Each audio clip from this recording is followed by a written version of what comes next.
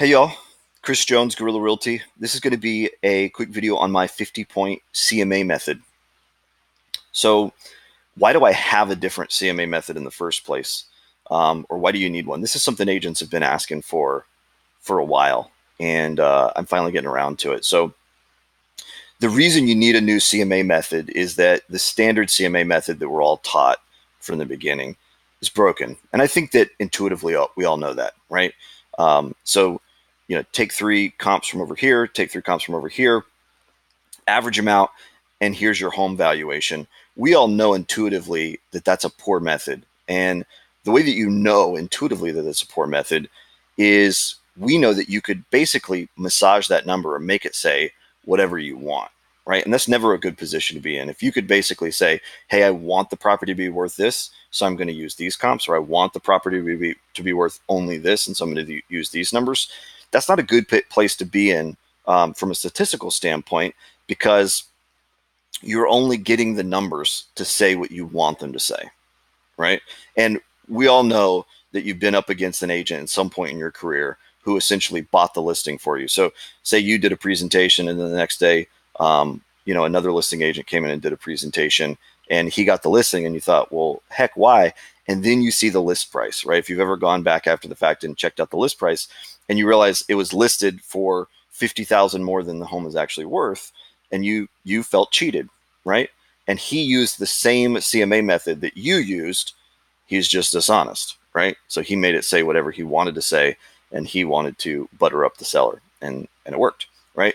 So how can you how can you build a CMA that will withstand that scrutiny? And that's what the 50 point CMA method is all about, right? So instead of just using a couple of comps, right, or using a very low sample size, we're going to use a huge sample size and we're going to take some statistical averages and we're going to adjust for appreciation, a bunch of other fancy things um, that are going to yield a much more accurate number at the end, right? So the key to the 50 point CMA method is that you're going to use 50 different data points from three different methods. And then we're going to take averages and establish a reasonable range around that. So the first method is the adjusted baseline method. And I'll explain that in just a moment. The second method is the active comps method. And then the third method is the close comps method. And we're going to triangulate those, take an average, and establish a reasonable range. And then I'll show you the rest of my presentation later. All right, so the first thing you want to do is you're going to want to put in this property stats into this calculator. Um, I've already pre-filled um, this with uh, 323 Whitney Drive. That's the property we're going to be um, establishing a value for. I've entered the subdivision, the number of bedrooms, the number of bathrooms, and the square footage. Right. Once you're done that, you want to drop below the red dotted line, and we're just going to fill in some numbers. Right. So I'm going to have to grab these from. We're going to have to grab these from uh, Zillow, or you can get them from your MLS. Um, uh, so let's just go to work. So baseline value is going to be either a recent tax assessment or the last sale price of the subject property, right? So the last time that 323 Whitney sold or the, the most recent tax assessment, right? And I would rather use the most recent number because sometimes, especially after 2009, you saw values do some funky stuff. So you want to always use the most recent new valuation, right? So I'm just going to jump over to the MLS and I'm going to look at the um, at the most recent tax assessment was 164 three. That's the baseline value, right? And again, it can be either the sale price or the ta- or the most recent tax assessment, but you want to use whichever is more recent. Okay. The date that the value was established was so this tax assessment is from 2017. So if it's a tax assessment, you just put in January 1st and then the year. If it was a sale price, you would put in the actual, you know, month and day that the home sold, and then you would do that, right? So this assessment is two and a half years old or 2.4 years old. And then we're going to put in the appreciation rate. Now, um, in another video, I'm going to show you how I like to calculate appreciation. Um, it's much more accurate than the way that your um, MLS probably does it. Um, but I think that your MLS number will get close enough for so the purposes of um, of this calculator. I'm just going to use the number that's published in my MLS uh, which is 2.5%. And then this is going to give you a new adjusted value. Okay. and that new adjusted value is 174,394, right? So what this what this method does is it takes the baseline assessment, it takes the appreciation rate, and then it takes the number of years appreciated, and it basically automatically compounds that appreciation and shows you the new value, which is 174,394. All right. All right. Now let's move on to method number two, which uses active comps, right? So the key to active comps is to choose accurate search criteria. So your search criteria is basically going to be the number of bedrooms, the number of bathrooms need to be the same. The square footage needs to be 10 within 10% on either side of our um, actual square footage. So this is 10%, 1838 to 2246. And then the subdivision needs to be the same. Now, here's what you're going to have in some slow markets, right? Um, or in low inventory markets. You're not going to have a ton of active comps. We need to get this number to a minimum of 12, right? Because the whole point is to get 50 different data points. And the 50 different data points is going to yield a much more accurate or statistically accurate number at the end. So from active comps, we got to get a minimum of 12, right? And so right now we have zero, and that tells us that we need at least 12 more. And so I'm going to perform this search and I'm going to get an average list price. Okay. And that average list price is 180 to 33. Okay. And the number of comps that it had um, was initially 11. Right. And so I, I actually um, increased the search to include the subdivision across the street. Okay and that ended up yielding 17 active comps total.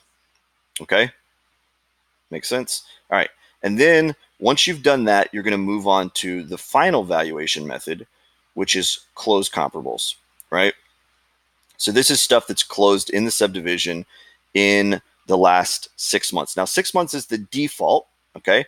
But I did a search, and unfortunately, there were only 13 closed comps in the last 16 months in my search range.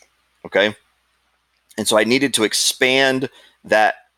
I needed to expand that reach or the number of months all the way back so that I had a total of 50 points, right? So I need 19 more to, to make this a 50 point CMA to make it really accurate. Okay. And so what you do is you just go back 12 months. Okay. Or if that still wasn't enough, then you would go back 18 months. I actually had to go back 18 months to get enough closed comps. Now, here's what a lot of people are doing. You're rolling your eyes and you're saying, oh my God, you're not adjusting for appreciation. Um, 18 months ago, um, houses were selling for a lot less, less than they sell today. And that's where um, this calculator comes in handy because it's already going to take the appreciation rate that you that you gave us and it's going to automatic automatically add it to those closed comps. Okay, so this is going to be an automatically adjusted adjusted value. Okay, and the closed comps that I got were 192. I took an average 192, 641. Okay, well, I'm I apologize. 162, 162, 641. Okay, and we ended up with a total of how many was it? 39, right? So we had plenty. Once we went back 18 months, so we had plenty. So we had 39. All right. And this all works out. And so now we're going to go back up to the top and we're going to look at our valuation. Okay. And it shows us the, the average for each one of our methods. So adjusted baseline said 174, active comp said 180, closed comp said 165. And again, this is automatically adjusted for um, the correct amount of appreciation based on the 18 month search. So it's really important that you update this. Okay. But once you do, it's going to take all those and it's going to take an average of them 173, 436. Okay. Feel this is a really, really solid number. And more importantly, I can go to the seller and I can show them the methods that we use and show them that this is going to withstand any amount of scrutiny. It would even stand up to an appraiser's valuation. Okay. And then we're going to establish a range of value around that property. Okay. So you know that a home is not a commodity. Um, that generally there's a reasonable range. Um, typically it's about 10%. So 10% on either side, you could sell it for a little less, you could sell it for a little more, depending on if you can find the right buyer or if you can get a ton of traffic to the property. And uh, we'll we'll discuss um, how to list every property at the high end and then actually sell it without constantly discounting. Okay, so I'm going to discuss how I do that in the future. But right now, you have a valuation method that will show you a very reasonable range of value that's based on a minimum of 50 data points and again can withstand any amount of scrutiny it could even stand up to a professional appraisal and it only took me about 10 minutes and access to my mls all right hope you enjoy. Hope it makes it easier. Talk soon